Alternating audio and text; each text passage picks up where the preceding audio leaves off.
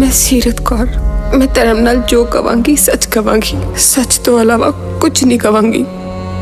ਤੁਸੀਂ ਕੋਰਟ ਨੂੰ ਦੱਸੋ ਕਿ ਤੁਸੀਂ ਸਤਵੰਤ ਕੌਰ ਨੂੰ ਗੋਲੀ ਕਿਉਂ ਮਾਰੀ? ਅਸੀਂ ਤਾਂ ਕਿਸਮਤ ਵਾਲੇ ਹਾਂ ਬੀਬੀ ਜੀ। ਰੋਜ਼ ਸਵੇਰੇ ਤੁਹਾਡੇ ਹੱਥੋਂ ਵਾਹਿਗੁਰੂ ਜੀ ਦਾ ਪ੍ਰਸ਼ਾਦ ਮਿਲ ਜਾਂਦਾ ਹੈ। ਮੈਂ ਵੀ ਬਹੁਤ ਕਿਸਮਤ ਵਾਲੀ ਆ ਸਵੇਰੇ ਸਵੇਰੇ ਪਿਆਰੇ ਪਿਆਰੇ ਬੱਚਿਆਂ ਦੇ ਦਰਸ਼ਨ ਕਰ ਲੈਂਦੀ ਆ ਕੁੜੀ ਵੇਖੀ ਤੂੰ? ਸਾਰਾ ਦਿਮਾਗ ਖਰਾਬ ਕਰ ਗਈ ਯਾਰ। ਗਲਤੀ ਹੋ ਗਈ ਯਾਰ ਆਪਾਂ ਉਸੇ ਦਿਨ ਉਹਦਾ ਘਰ ਵੇਖ ਲੈਂਦੇ ਨਾ ਤਾਂ ਇਹ ਪੰਗਾ ਨਹੀਂ ਪੈਣਾ ਸੀ। ਪਿਛਲੇ 10 ਦਿਨ ਤੋਂ ਮੇਰੇ ਪਿੱਛੇ ਆ ਰਿਹਾ। ਤੂੰ ਮੈਨੂੰ ਉਸੇ ਟਾਈਮ ਦੱਸ ਦਿੰਦੀ ਨਾ ਤੇ ਮੈਂ ਉਹਨੂੰ ਉਸੇ ਟਾਈਮ ਸਬਕ ਸਿਖਾ ਦਿੰਦੀ। ਮੈਨੂੰ ਸਿਰਫ ਇੱਕ ਦਿਨ ਦਾ ਟਾਈਮ ਦਿਓ ਮੈਂ ਛੱਡਾਂਗਾ ਨਹੀਂ ਸਾਲੀ ਨੂੰ। ਅੱਜ ਦਾ ਫੈਸਲਾ ਕਰ ਹੀ ਦੇ। ਜਲਦ ਤੋਂ ਜਲਦ ਉਹਦਾ ਪਤਾ ਕਰਾ ਸਾਲੀ ਨੂੰ ਚੱਕਣਾ। ਮੇਰਾ ਨਾਮ ਵੀ ਸਤਵੰਤ ਕੌਰ ਹੈ ਮੈਂ ਵੀ ਸਿੱਖਣੀ ਆ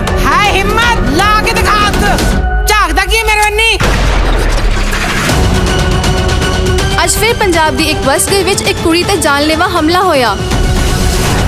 ਮੇਰਾ ਨਾਮ ਅਮਰਜੀਤ ਕੌਰ ਹੈ। ਮੈਂ ਲੜਾਂਗੀ ਤੇਰਾ ਕੇਸ। ਇਹ ਕੇਸ ਟਫ ਜ਼ਰੂਰ ਹੈ ਮਗਰ ਮੈਂ ਉਹਨੂੰ ਜ਼ਰੂਰ ਬਾਹਰ ਕੱਢ ਕੇ ਲਿਆਵਾਂਗਾ।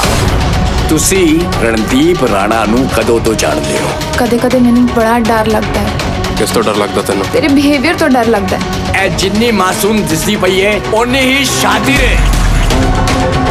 ਸੀਰਤ ਨੇ ਗੋਲੀ ਚਲਾਤੀ ਤੇ ਫਿਰ ਜ਼ੋਰ-ਜ਼ੋਰ ਨਾਲ ਰੋਣ ਲੱਗ ਪਈ। ਆਬਜੈਕਸ਼ਨ ਯੋਰ ਆਨਰ ਇਸ ਮੁੰਡੇ ਨੇ ਸਤਵੰਤ ਕੌਰ ਨੂੰ ਗੋਲੀ ਮਾਰ ਦਿੱਤੀ। ਇਹਨੇ ਉਹਨੂੰ ਜਾਨੋਂ ਮਾਰਿਆ ਜੱਜ ਸਾਹਿਬ।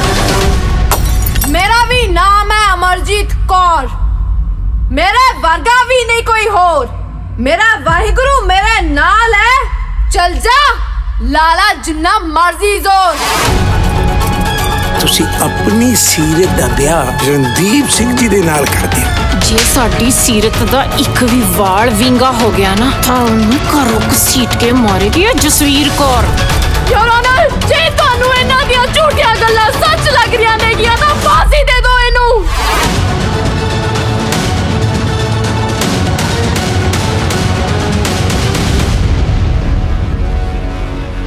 ਕਿੰਨਾ ਆਸਾਨ ਹੁੰਦਾ ਹੈ ਨਾ ਕਿਸੇ ਔਰਤ ਦੇ ਖਿਲਾਫ ਕੇਸ ਜਿੱਤਣਾ ਕੁਝ ਮਿਲੇ ਨਾ ਤਾਂ ਕਰੈਕਟਰ ਉਛਾਲ ਦੋ ਉਹ ਕੁੜੀਏ, ਤੂੰ ਮਾੜੇ ਕਰੈਕਟਰ ਦੀਆਂ ਤੈਨੂੰ ਬੱਸ ਵਿੱਚ ਇਕੱਲੇ ਸਫ਼ਰ ਨਹੀਂ ਕਰਨਾ ਚਾਹੀਦਾ ਸੀ।